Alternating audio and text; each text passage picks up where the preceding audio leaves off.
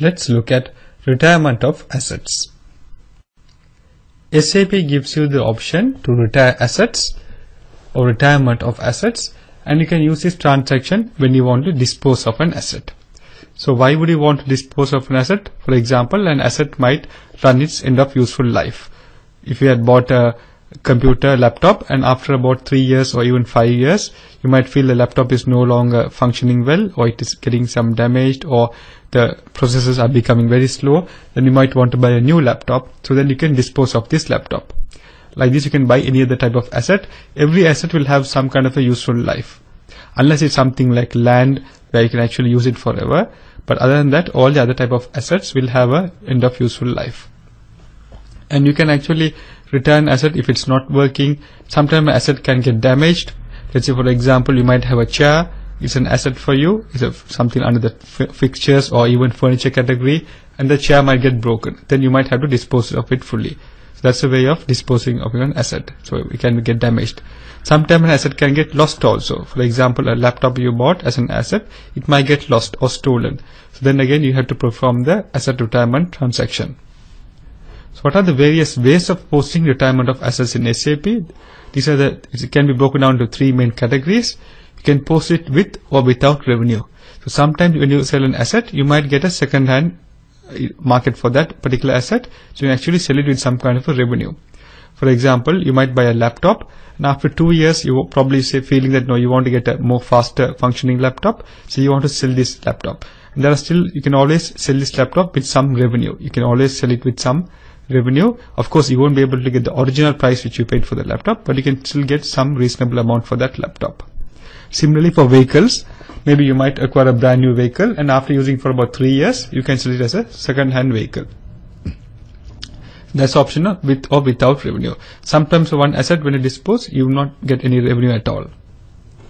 You can also sell it with or without a customer. So sometimes you might actually sell it to a customer. For example, if you sell an item with some kind of a revenue, you can usually sell it to a customer. And if you're actually selling it without a customer, most probably that means you're not going to get any revenue coming in. That means you're actually, uh, you're just going to dispose of it. There's also a disposing of the asset full or partial. So sometimes you might dispose of the asset fully and sometimes you can do partial retirement of an asset. For example, let's say you are having a building and the building has a few uh, like side by side buildings and you're actually owning the full whole of that building and you're only selling a part of that building building to a customer. So that can be a partial retirement of that asset and you'll be creating a new asset for the new the uh, one side of the building which you own.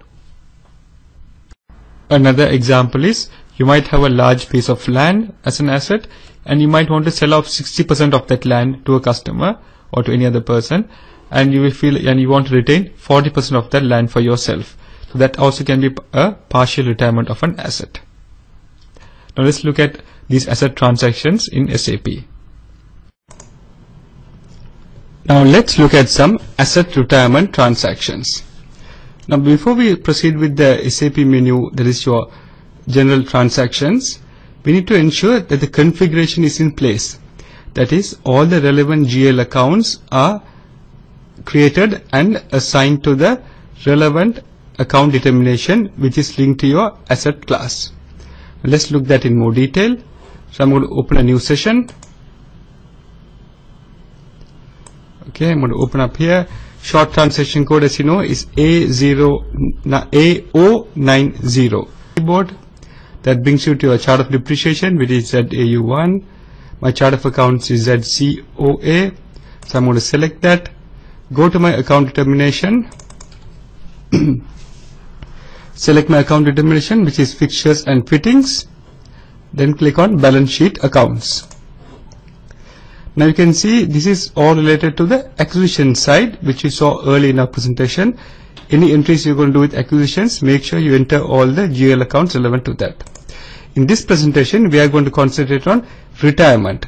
So any retirement related transactions, you need to ensure all the GL accounts are filled over here.